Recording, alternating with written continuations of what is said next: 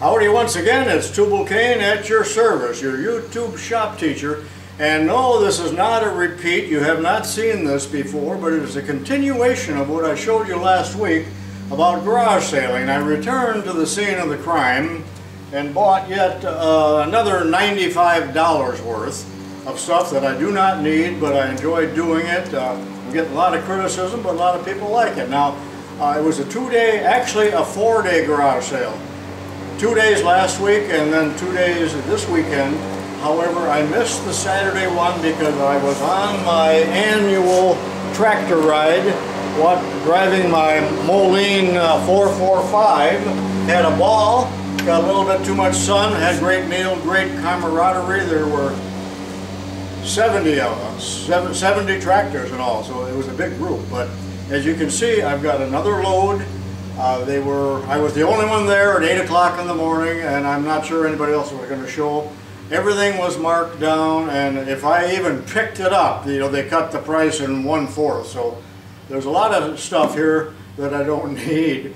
Now, uh, another thing, I beg your pardon on this, but I often say this is no good, I'm throwing it away, but I do like to give things. I am a member of Midwest Tool Club and uh, we do give tools away. Uh, we, we donate tools to the club, and then they, when they get enough of them, they put them in a container and send them down to Haiti and different places like that. The claw hammers and carpentry tools. So there's a lot of other things I give away. I, my good friend is uh, uh, in charge of Habitat of, uh, for Humanity around here, but he just told me two days ago he had to go to some kind of meeting, and it was all about OSHA, and OSHA has handcuffed them the, the regulations are just, I don't care who you are, I, I'm not even going to talk about that, but he who governs least governs best. Who said that? And why aren't we following those great words? So watch me now uh, as I unpack this. The back end of the car, again, is, is sagging because there's some bigger items in here. Some of them you will recognize from when you watch the first auction in the background and I'll give you just a little bit of a clip of this that I took with my phone. That's always bad footage, I know it is. But as I told you, millions of people, producers, make their videos with their phones in the dark, moving them as much as possible. And have you noticed that in my videos that my neighbors watch me very closely with binoculars, and the second I start filming, they start mowing. All right getting crabby like a train man. Hi Dave, hope you're watching. All right, let's get started. I'll get everything out on the ground, which will be kind of a job here. They help me load. I know I'm Gavin, but you guys like it and you know it. Please tell other people about my video. Oh, at the garage sale, they said that some people showed up yesterday, on Saturday, that had been sent by me. They, of course, these people didn't know me from Adam, but I, I kind of explained what I was doing then and took just a, just a little bit of footage, but it was, it's, it's never very good and the sound is non-existent. Even now I'm a little bit away from the microphone, so watch my many other videos. It's a really a mess here. I'm in the garage and uh, I don't have the mess cleaned up from last week, I've got to be honest with you. So some of this stuff I might sell that I don't, don't need, but if I get big enough offers. Otherwise I don't like the mess. But $95 wasted this week and what was it last week? I forgot, the one 30 or 40. So, all right, here we go.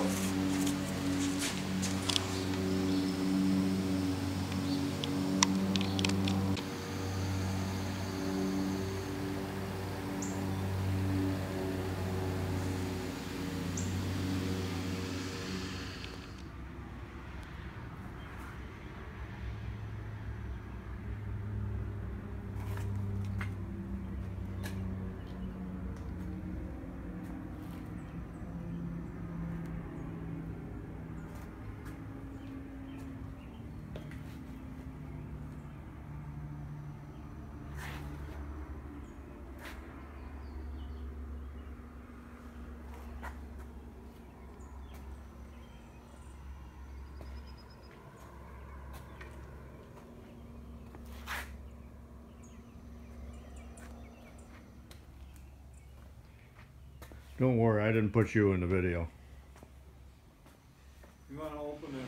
They had a whole pile of stuff that was one dollar, so I just went through there. I left about half of it, but Okay, there's a, uh, you know what this is, a bender. I think there's another one. Must have got mixed up. What brand is that? Uh,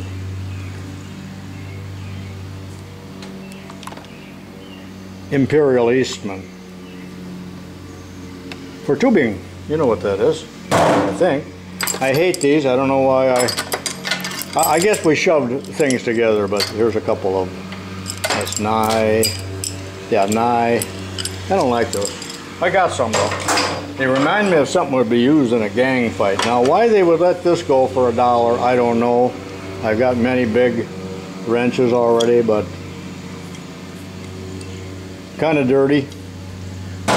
American made. Now this is, I think brand new, still got a tag on it, but it's got that horrible discoloration that I dread, and it is a Stanley. I don't know if this is gonna, uh, and, and it is so protected. Remember I showed you one of these? See, that's brand new. A dead blow. It's a dead blow. Wow. So if this doesn't disintegrate on me, I'm quite happy. It's got that sticky feeling.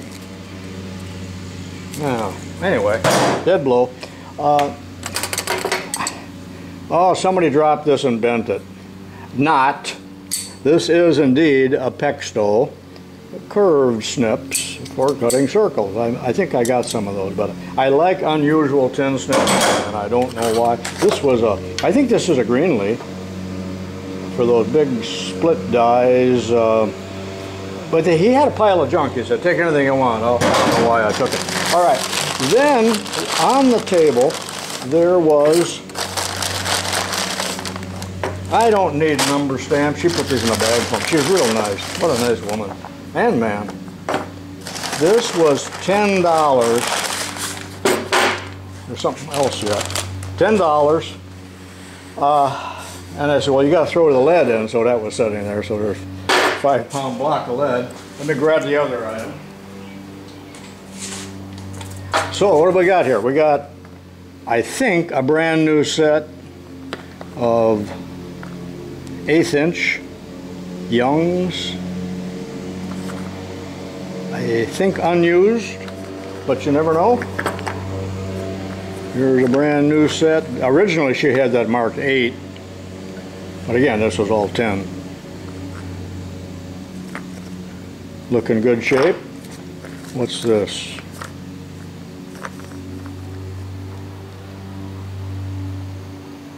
Also eighth inch numerals.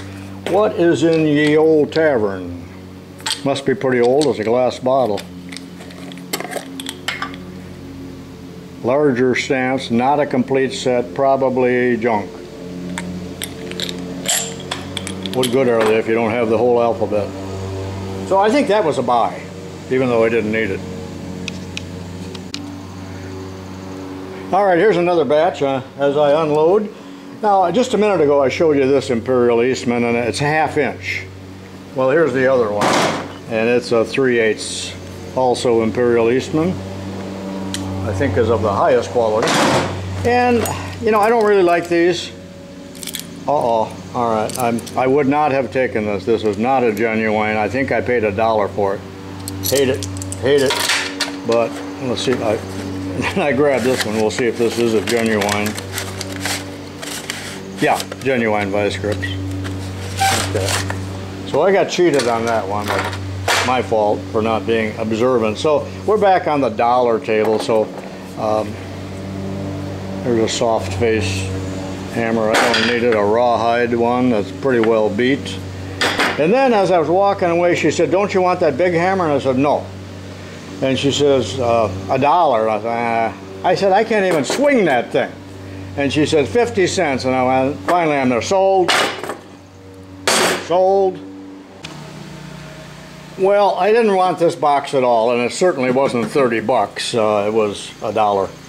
And I said, well, I'll, I'll, take it if you throw in these rods. I don't even know what these are. But there's about 10, looks like 3 8 rods. I hope they're not hardened, but we'll see. So, give my grandsons a haircut. It's a whisk. I, really, all I want here uh, is if I don't have enough Allen wrenches. I do like these T-handles, but I've got a, a zillion of them. The regular one. Oh, I didn't see this. There's a little uh, die cast. That's no good, but might have a die that is usable. And somebody put, looks like they put a round die in a hex holder, but maybe they're supposed to do that. I don't think there's anything, you know, there's a center punch, Dasco. Oh, there are some other.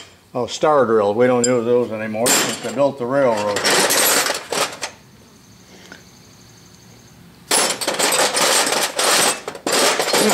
I didn't even see those. I don't use a chisel very often anyway. Oh, I know.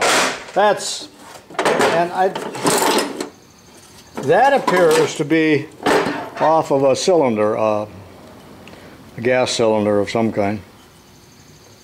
For scrap, uh, regular, uh, what is that, a D, uh, removes water, I think, from your airline. Some fittings.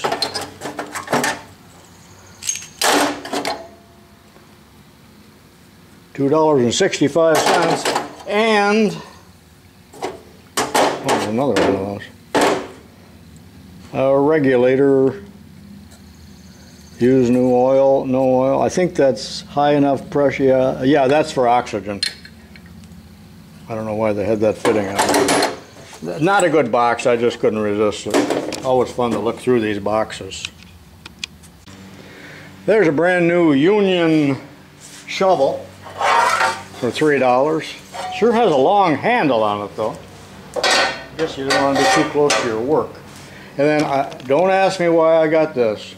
But I hate swinging an axe, and this uh, double bitted means it's even twice the work. But you know, it's appears to never been used, and usually the handles, yeah, it's been used, but not much. Usually the handles are, are ruined right here. So I got a double bitted axe like Paul Bunyan. All right, my grandson Jordan, he's getting big and he walked in just as I was talking about that axe and he laid claim to it instantly because he's a bit of an outdoorsman. So, and he's big enough now where he can swing that thing. So as long as he doesn't hurt himself, that, uh, that you know, these people, some of these people take my things as fast as I can get them. I'm glad Jordan just showed up because I need a hand unloading some of the heavy stuff. All right, in last week's video, some observant guys saw this drill press sitting on the floor. It was marked $25. Well, today, notice that it's marked down to $5, and they said, you want that? And I said, not really. And I said, there's no chuck key. Well, then she dug around and found the chuck key. So, you know, I got umpteen drill presses. It would need a lot of cleanup, but it is a Craftsman. But it carries the Dunlap label, to me, is uh, the kiss of death. But it's got a motor on it. I didn't try it yet. Maybe it works. And uh, no belt. That's a half inch Jacobs chuck. So, you know, maybe that's not bad. Uh, clean that up and give it to Jordan. It's a table mount. But it is heavy. That's back when they made them heavy because Jordan just helped me unload this. I couldn't lift it by myself. So there we are. And you know what? It's not too bad because I know I just made fun of the Dunlap name because I've told many of you that I suffer from Dunlap disease. I think we talked about that, so I won't repeat it. But it's got four, you don't see this too often, with the four knobs. But here we got one, boy, that, that's beat up, and that one's cracked. So they're, they're old enough, I think they've deteriorated with age. But I might use this motor on that filing machine that I bought. And I, I still been, I've been looking for a motor, so maybe for five bucks I got a motor. You know, uh, I don't know why I bought this, this as a dollar, not ten. Everything was cheap today because they're going out of business. But and this is empty, but that's a Pyrene fire extinguisher. Remember when there was one of those on every school bus, hung right next to the driver's seat? I guess that's why I got it. Just, just but I might scrap that for brass if it, I don't know. Okay. Oh, and there's another nice Dasco chisel for somebody that doesn't want to be too close to their work. And the C-clamps were a dollar each. Most of them are Jorgensen's, really, uh, which are woodworking clamps, and they're six inch, six inch. That's an adjustable. And some of these cheaper ones have a bit of a bend to them. Can you see that? But they're easy enough to straight, straighten. Uh, Jorgensen, four inch. Anyway, there were nine of them that I picked through. That one just says malleable on it, four inch. So I got plenty of C-clamps. You know, I like to dedicate C-clamps like a vice grip just to fix something. I leave the clamp on there. There's clamps all over the beams of this garage. So I took these out of a box, the box I just showed you, and then later on she said, we'll take the rest of them because I had picked through them. They'll be up here in a minute, but it was about a dollar for the, for the rest of them. But these are the good ones, dollar a piece. But originally marked at five the first day. Some of you saw this in last week's video and you know what? It, they thought it was a Hegner. I cannot find the name on it for the life of me other than on the motor. It's a German name but there's where the tag would have gone. You see a little sticky there. If anyone can identify this, let me know and uh, tell me if $5 was too much. And there is a label Five bucks. There's a label, but it's all about the blades. Not, not the brand, so I don't know. And it, it does work. Let's turn it on.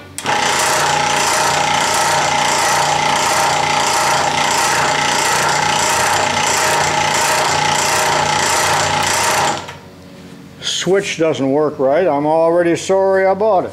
But there it is, a little scroll, saw. that'd be good for the grandkids, because you can't get cut too bad on these. You know, it's not like a bandsaw.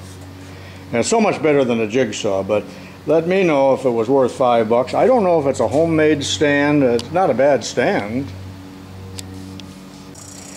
You know what? I, I don't know if you can tell or not, but that motor runs on the drill press and quiet and smooth, but there's no switch on it and it looked like it's been wired by Baba.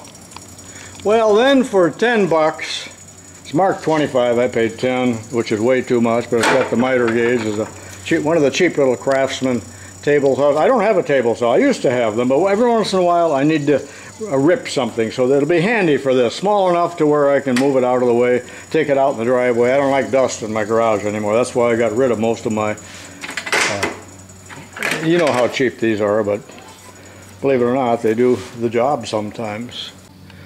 First of all, I forgot to mention that the saw does work. I had them plug it in. And so does this Makita. That was 10 bucks on a short stand for short people, I guess. Shorter than me even, but it runs fine. Thank you for watching my videos and uh, leave me some comments, kind comments. Remember, as my mother said, be kind one to another and gentle-hearted. There is the key. And you know what? That's one of those safety keys, isn't it? I've never seen one exactly like that that'll kick out for safety purposes. But it's loose right there. Matter of fact, it's too loose. Letrek. Well, this was 50 cents. Uh, but it is a good, what they call contractor's grade of Stanley, but it's a high tension. I've talked about high tension hacksaw frames and how good they are compared to cheap ones. Now, I had them put it together a, a package deal. It was a dollar for whatever sockets are still on that, and there's some S&K sockets there, and uh, what do we got? A Craftsman, uh, S&K. There's two worthless sizes, for me anyway. Uh, another S&K, another S&K. I, like, I always liked S&K. This was a dollar, but it's a fuller. I know it's worthless, but it's a good one to keep on a tractor or, or something where you don't really care about it and you can take a chance of it walking away. In, in this box, now this was the box that had all of the C-clamps in it originally. I picked out the good ones, then later she said, well, will you take the rest of them for a dollar? So these were all a dollar. There's a flaring tool. Uh, that would have been a nice one, and I don't believe it's broken, but it's Somebody welded something on there, but that looks like it's a Proto or an Armstrong or something good. In fact, there, Yeah, there's an Armstrong, so it looks like it's an Armstrong. Armstrong and Proto are excellent quality sequins, really are. There's one I don't care two hoots about. Pony, that's a Jorgensen, I think. The little ones are always kind of useful. They look kind of old and rusty. More C-clamps than I could use in a lifetime. What the is that? That's Armstrong. I started to make fun of these. These two are Armstrong. But, huh, I'll be darned. Looks like it's bent, I'm not sure. So, got plenty of C-clamps, just a couple more things to show you. Don't get excited, I neither paid $10 nor is it a Milwaukee electric tool, heavy duty. It's just an empty box that I threw a few things in. I'd do, of course, like the Crestoloy, that was a dollar, 10 incher. And that was that was a dollar also. These were sold separately. No, no, no, no. That was a dollar. One dollar. Remember I had one of those the other day too. And then this, originally I thought that this was one of these. And never mind that, it was one dollar. All the hammers today were one dollar. But that's, I like to call it a prospector's tool, but actually it's for a brick bricklayer or something like that, mason, uh, for a dollar an extremely nice brass hammer in good condition. It is used but not abused. A one dollar plum, I think brand new. No marks on it at all. What am I going to do with that? But I like that stuff. Just when I'm starting to get my garage under control here. Now you know what this is. Is that a Greenlee? Got the thrust bear, yeah it's a Greenlee. Looks like about a one inch. You know what that is. Put it in the comments. Here, for no, no, no, not four, one. These are all, I was hesitant about buying them and they are used, but they are Cleveland brand I believe. Wait, that's a Uniflute. Well, that's a that's a Cleveland. I don't know about the other ones. Neighbors are making noise again. They know I'm filming. Okay, that completes this video, this tour of my garage sale, return to the scene of the crime. I hope you liked it. I hope you don't take it as a bragging session. Uh, and I hope you're not abusive in the comments, but uh, Appreciate your watching. Continue watching. I got a lot of videos coming up. The South Bend is already set up here for a job that you'll see in a day or two. Or I will film in a day or two. I'm not sure just when you'll see it. So this is Tubal Cain I'll see you in my new videos. Next videos. So long for now. I interrupt this video to show you several things. You know, I was rather talking up this nice Stanley hammer. Well, I set it down on another bench. I come back 15 minutes later and guess what? So, you know, the, these hammers,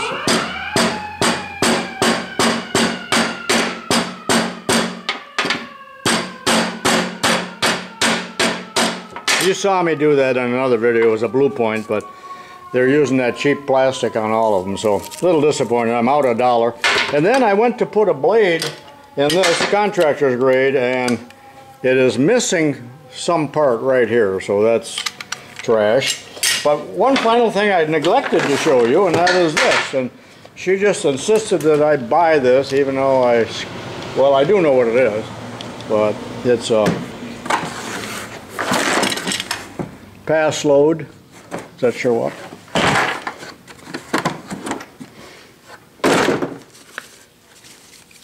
I don't know if that's the same model, but there it is in all its glory. Oop, I just dropped the charger, or not the charger, the power pack or whatever it is.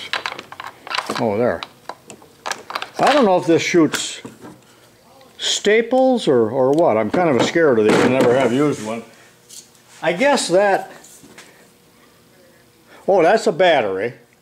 So there's a battery that goes in where? Right here. And some other unit here. I don't know much about these. That's the fuel cell. Okay, it needs both.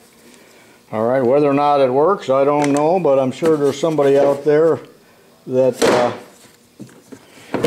would like that, so. And I don't know what happened to that battery charger I had last week. I think that's already gone. All right.